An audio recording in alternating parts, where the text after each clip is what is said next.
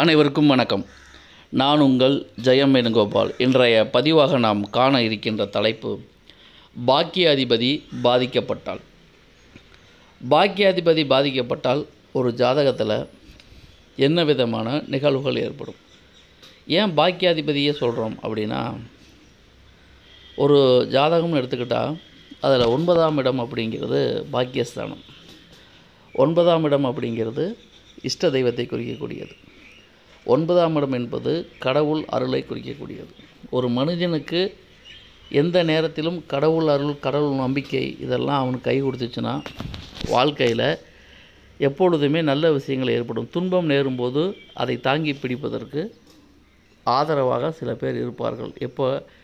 கடவுள் அருளால். எதனால்? ஒன்பதாம் அதிபதி பாதிக்கப்படாமல் இருக்கிறனால. இப்போ ஒன்பதாம் இடம் பாதிக்கப்பட்டிருக்குன்னு வச்சுக்கோங்களேன். அந்த ஜாதகருக்கு எங்கே போனாலும் உதவிக்கு ஆள் இருக்காது. ஏதாவது ஒரு ஹெல்ப்னு கேட்டால் கூட உதவி பண்ணுறதுக்கு ஆள் இருக்காது. ஒரு பிரச்சனைன்னு வந்தால் கூட அந்த பிரச்சனைக்கு சொல்யூஷன் இவருக்கு தெரியாது.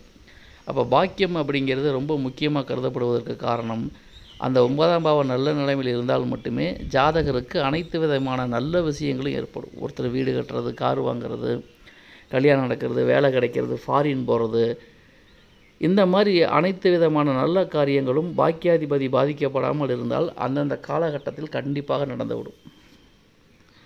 இதைத்தான் விட்டு போட்டு ஒன்பதாம் இடம் பாதிக்கப்பட்டுச்சுன்னா இன்னும் ஏதாவது எந்த ஒரு விஷயமே காலகாலத்தில் நடக்காது.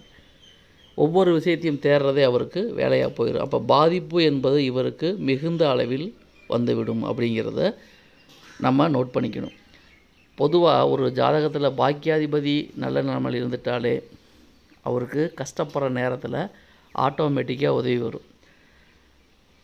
ஏதோ ஒரு பிரச்சனைனா கூட கடவுள் அருள் கூட இருந்து இவரை பாதுகாக்கும் அப்படிங்கிறது தான் உண்மையான விஷயம். அப்போது பாக்கியாதிபதிங்கிறது ரொம்ப ரொம்ப ரொம்ப முக்கியமானவர். ஏன்னா திரிகோணங்களில் அடுத்தடுத்த திரிகோணங்கள் வலிமையானது. ஒன்றை காட்டிலும் ஐந்து வலிமை ஐந்து காட்டிலும் ஒன்பது வலிமை. அந்த அளவுக்கு வலிமை வாய்ந்த பாக்கியாதிபதி ஒரு ஜாதகத்தில் பலம் பெற்று ஆட்சியாக உச்சமாக இருந்து விட்டால் மிகப்பெரிய சாதனையை வாழ்க்கையில் ஜாதகர் செய்வார். எந்த பாதிப்பும் ஜாதகருக்கு வராது எந்த ஆபத்தும் வராது. பிரச்சனைனா கூட அந்த பிரச்சனையை தோ தோக்கடிப்பதற்கு உதவிக்கு ஆள் கிடைக்கும்.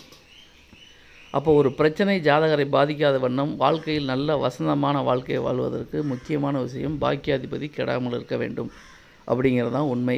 பாக்கியாதிபதி கெட்டுவிட்டால் வாழ்க்கையே ஒரு போராட்டமாகும் ஒரு போர்க்காலமாகும் நினச்சது எதுவுமே நடக்காது. ஏண்டா பிறந்தா ஏண்டா வாழ்கிறோங்கிற மாதிரி விரக்தி மனமான்மை கொடுக்கும்.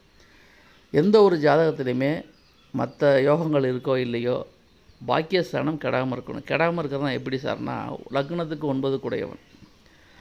ஆறு எட்டு பன்னெண்டில் போய் மறையிறது. ஆறு எட்டு பன்னெண்டு அதிபதியுடைய சேர்க்கை பார்வை நீசம் பக்ரம் அக் அஸ்தங்கம் திரிசூன்யம் இந்த அமைப்பில் இருந்தால் நிச்சயமாக பாதகம் உண்டு. நன்றி வணக்கம்.